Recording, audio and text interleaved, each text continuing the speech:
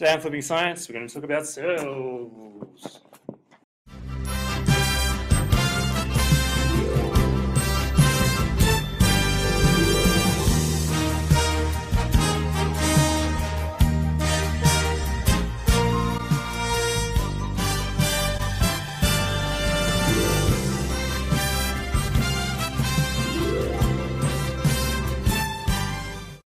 So in today's video, we're going to look at these science understandings. We're going to look at how living things are distinguishable from non-living things.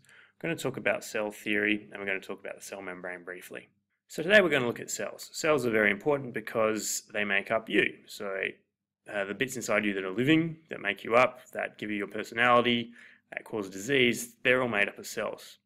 Um, when we start looking at cells, we're going to talk about them as being the kind of the fundamental building block of biology. Um, everything that's living is made up of cells. So if you can think of something that's alive, it's made of cells. It could be made of one cell, it could be made up of trillions of cells like you. Um, cells are the smallest component of an organism that we say are living. So we need to define what life is so that we can explain that. So I've got some pictures down here um, that represent the features of living things.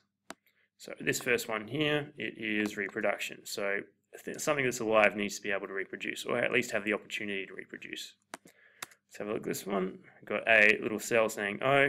We're talking about there responding to the environment.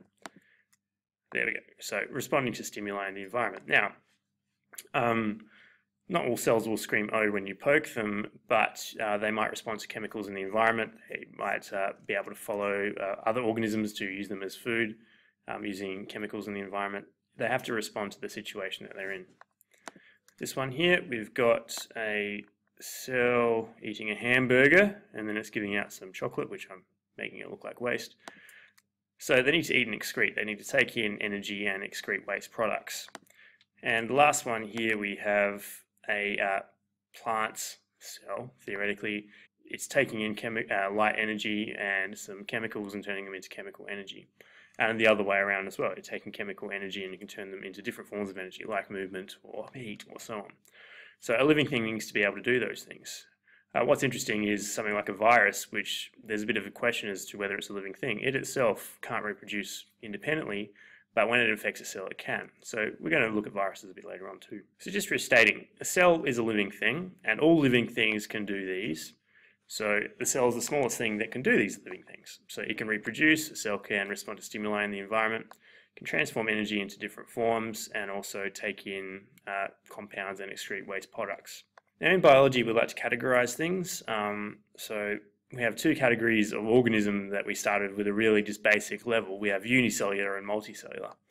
So if something's unicellular, uni means one, it's made up of one cell.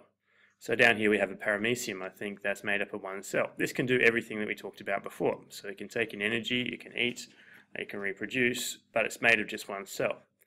Over here we have multicellular, so we've got a kitty. A kitty is made up of lots and lots of cells, so multi means lots, so lots of cells. And then you have some weird ones, and what I like about biology is there's always weird organisms that kind of fit somewhere in between lines that you draw. So here we have some algae. Now each cell here acts completely independently of all the cells around it, but it is joined to the other cells. So does that mean it's unicellular stuck together, or is it multicellular that acts like lots of unicellular organisms?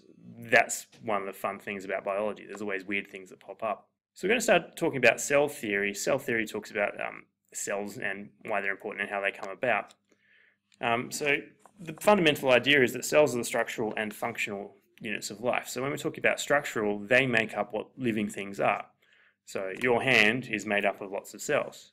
They're also functional. They do the jobs of the living things. So the cells in your hand are taking in chemicals and changing them around and reproducing and so on.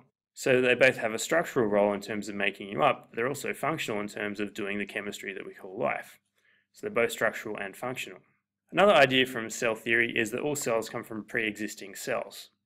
So you start off as one cell that divides into two, then those two cells divide into four, and so on and so on, and eventually you end up with you.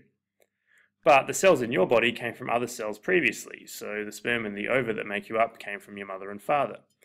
And if you trace that back, then those sperm and eggs from their grandparents came from them as well. And you can go back and back and back. Another fundamental idea of cell theory is that all cells have to contain some hereditary material, at least at some stage in their life. Um, what that means is hereditary is uh, information that's being passed on. So for us, we're looking at DNA. Um, in if we look at uh, viruses and consider them living somehow, some people do, then they contain either DNA or RNA. So these are chemicals that contain information that are passed on from one generation to the next. Um, you have about three meters of DNA in every single cell in your body, except for some cells that break down the DNA once they're produced. So red blood cells, for example, don't have a nuclei. The DNA kind of floats around there as the little bits that make it up.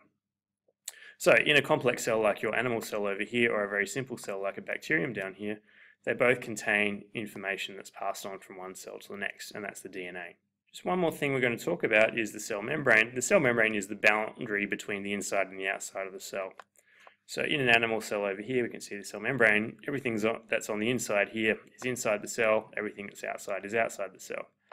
Um, the cell membrane is important for separation, but it's also a very complicated structure. Um, it's got proteins floating in it. It's um, made up of essentially oils that arrange themselves into two layers. It's a very complicated structure, and we're going to look at it uh, in detail a bit later on. So the last bit I'm going to talk about is the science as a human endeavor. How do we figure all this stuff out about cells? And it comes down to microscopes. Cells are very, very small, so you need a instrument that allows you to see very, very small cells. So today we'll just talk about Hooke.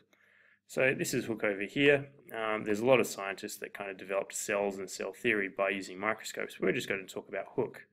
Um, Hooke used a very, very simple microscope, which is essentially a drop of glass um, suspended and held by a couple of bits of metal. And using that, he looked at structures and he got decent magnifications from that.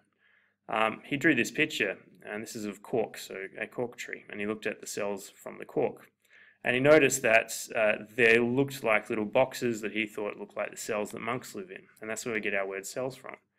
So the word cells comes from Hooke interpreting a picture of some cells underneath a microscope. And that's where we get our word. The development of biology is very closely linked with the development of the microscope because as the microscope developed in terms of its abilities, we saw smaller and smaller structures. And cells are very small, so if you have better microscopes, you can see smaller things. So today on Flipping Science, we looked at uh, cells, cells being living, uh, unicellular, multicellular organisms, and we talked about cell theory. So that's it for Flipping Science today. See ya.